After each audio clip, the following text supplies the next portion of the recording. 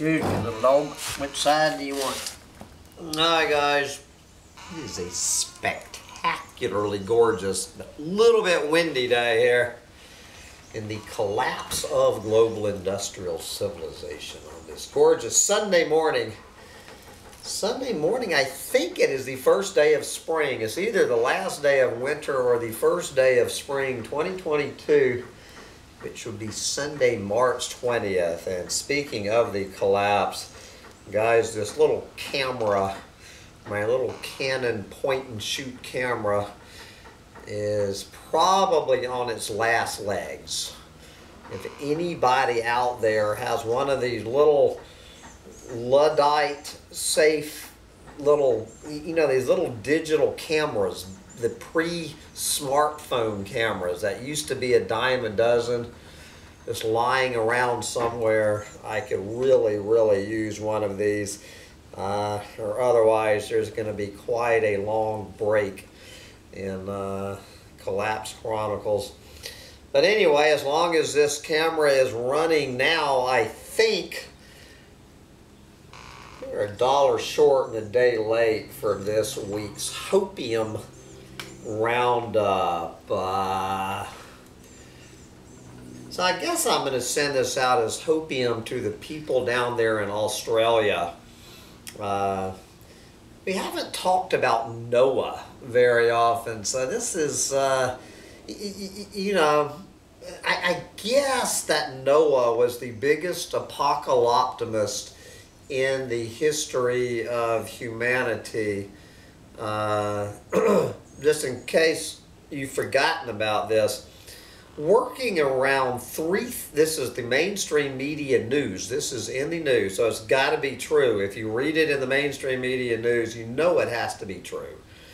Uh, working around 3000 BC, Noah was 600 years old when God told him to build a ship. Yes, Noah took 100 years to build the ark.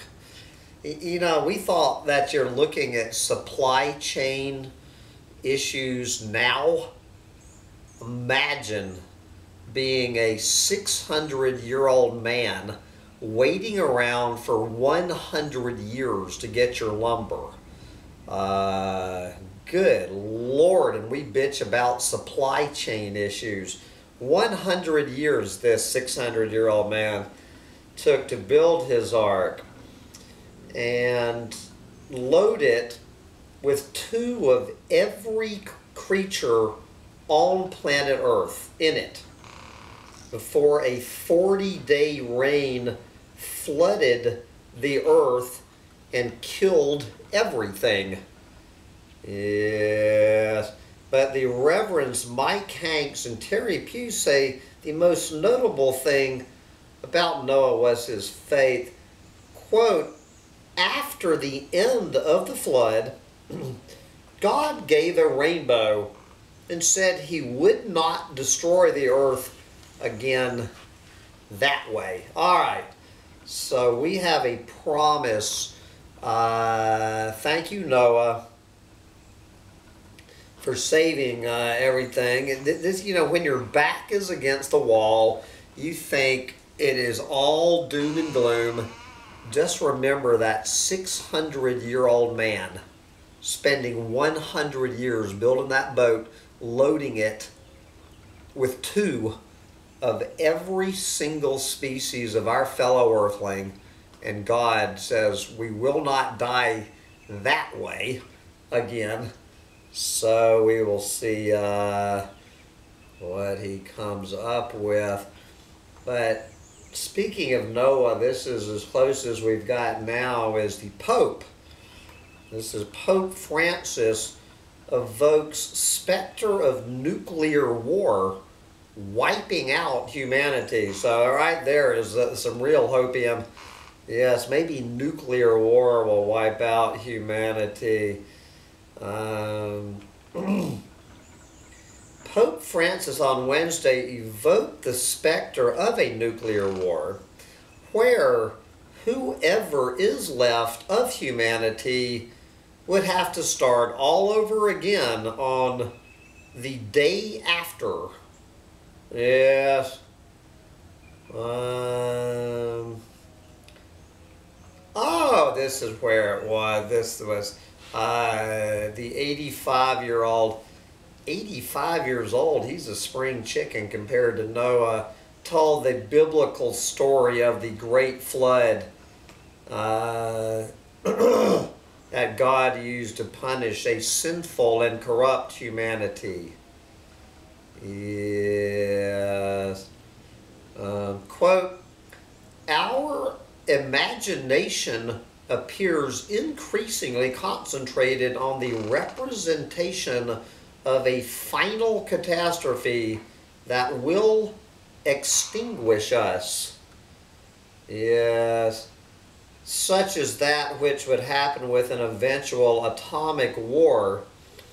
The day after, if there will still be days and human, human beings, we will have to start again from nothing. Yes. So, uh,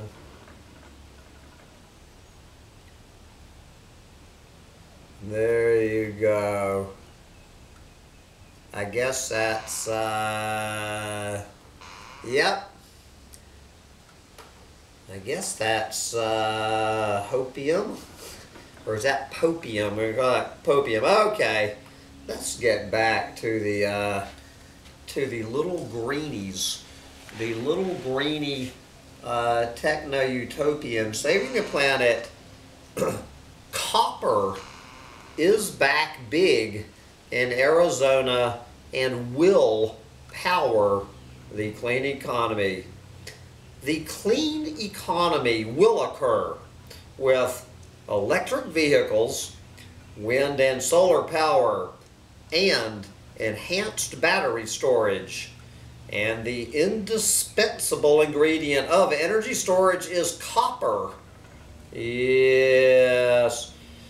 A cleaner, decarbonized economy simply cannot happen without more copper. For example, one average electrical electric vehicle uses 200 pounds of copper. One solar panel contains 5.5 tons of copper per megawatt. Wind farms require copper as does energy transmission, meaning all of these uh, transmission lines to save the planet. But the current and projected global copper supply is insufficient to power this transition to clean energy. Yes, the clean energy future has a mineral roadblock Yes. Shortages have already resulted in a doubling of copper prices in the last two years, and demand for copper will grow by 50% in the next 20 years. Yes. And the price escalation drives the cost of the clean energy transition higher. Yes. Goldman Sachs has called the situation a molecule crisis and concluded that without more copper, the clean energy economy will not happen.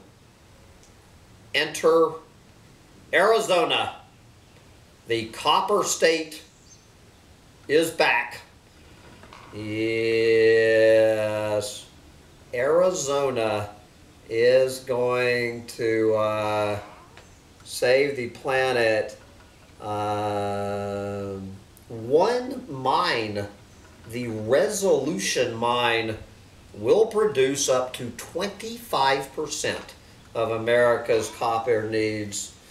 Yes. Meanwhile, producers are developing other deposits The copper triangle is rich in copper. Yes. Anyway, the state of Arizona is going to save the uh, clean economy by literally mining the state of Arizona to save the planet. We are going to save the planet by eating the planet. All right. Uh, but don't forget nuclear power, saving the planet from fossil fuels. But of course, we have that pesky problem of nuclear waste and where and how to store it. But do not worry, this crazy underground tomb, this crazy underground tomb will store nuclear waste for 100,000 years. All right. Finland, thank you, Finland, will store nuclear waste in a new underground tomb starting in 2024. The tomb is located the tomb is located deep beneath the rural village of Eurajoki. The permanent the permanent nuclear disposal site is called Onkalo, which is Finnish for deep pit.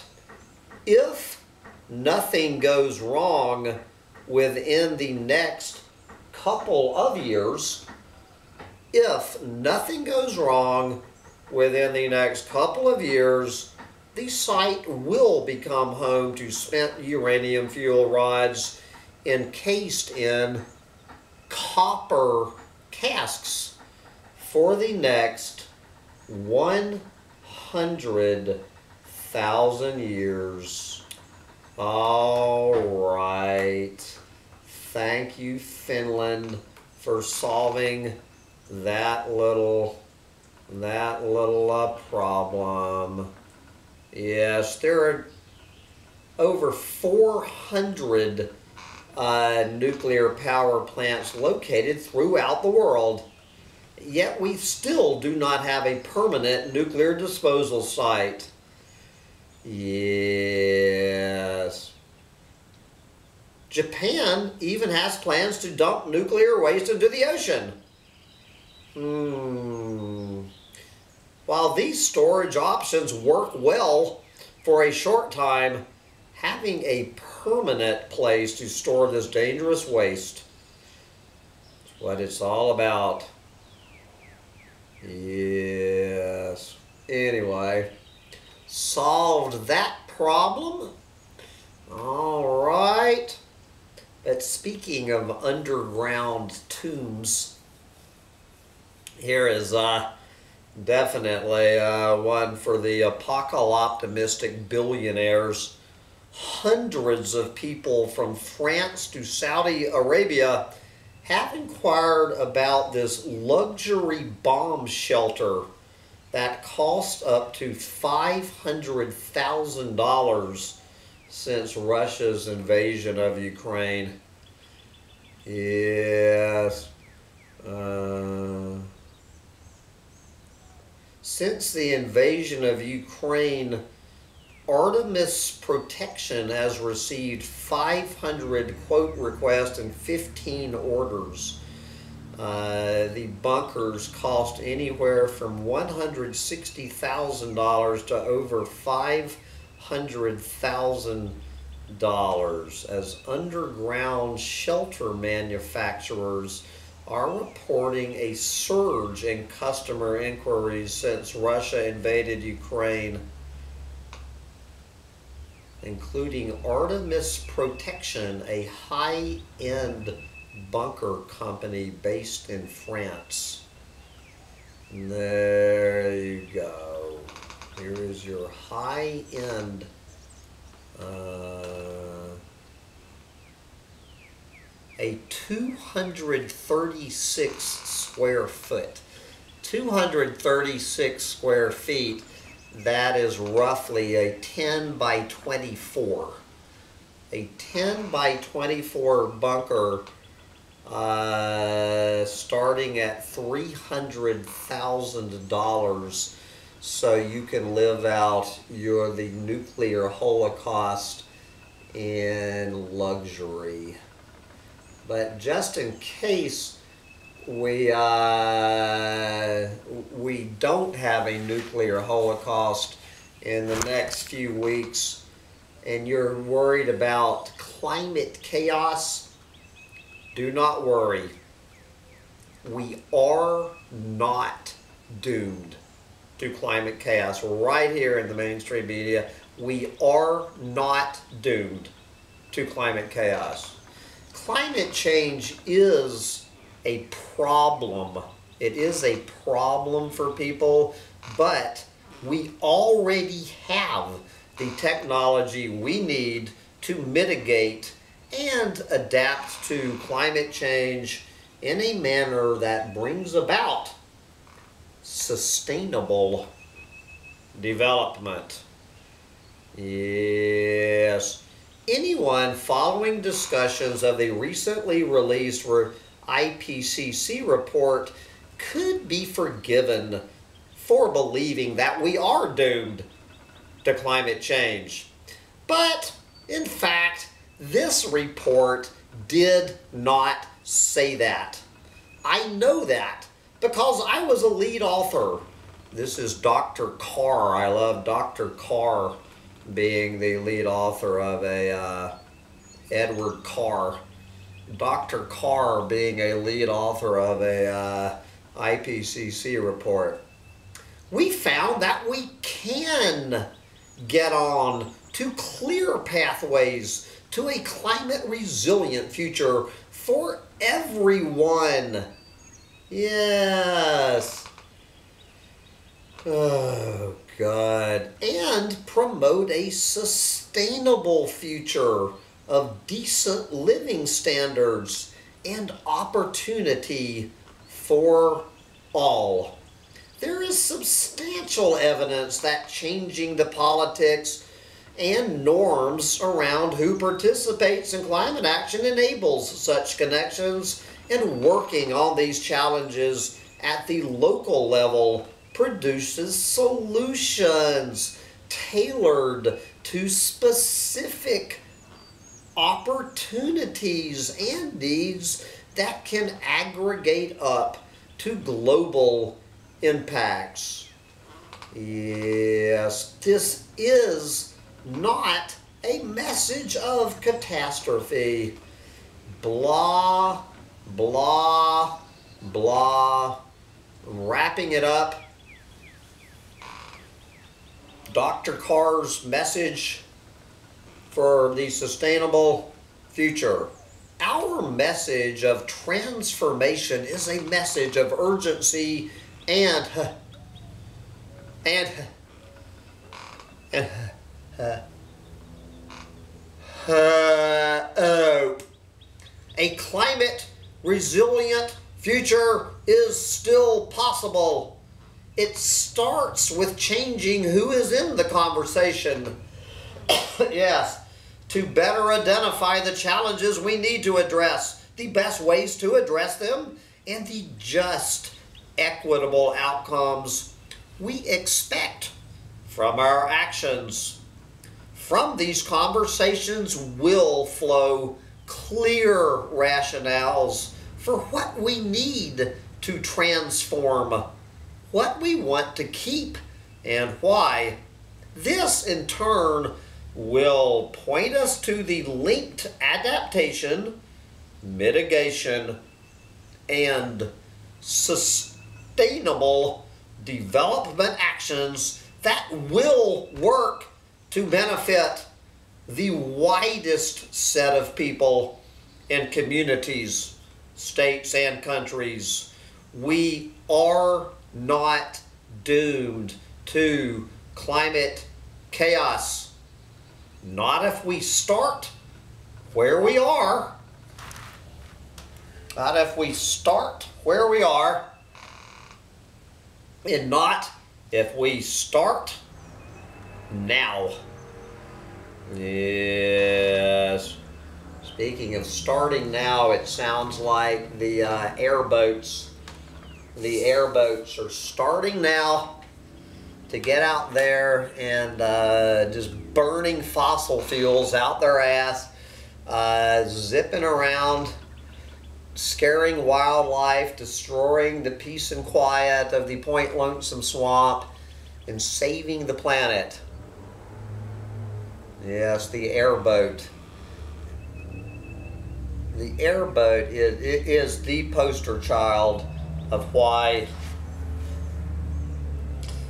Anyway, I have to wrap this up because it is a gorgeous day. I'm uh, actually uh, going to start. I think I'm going to take this damn knee brace off for the first time and, uh, and see if I can bend my knee anyone has one of these little cameras to donate, please email me at collapsechronicles at gmail.com because I'm afraid when I turn this little camera off, it will never turn on again. Bye, guys.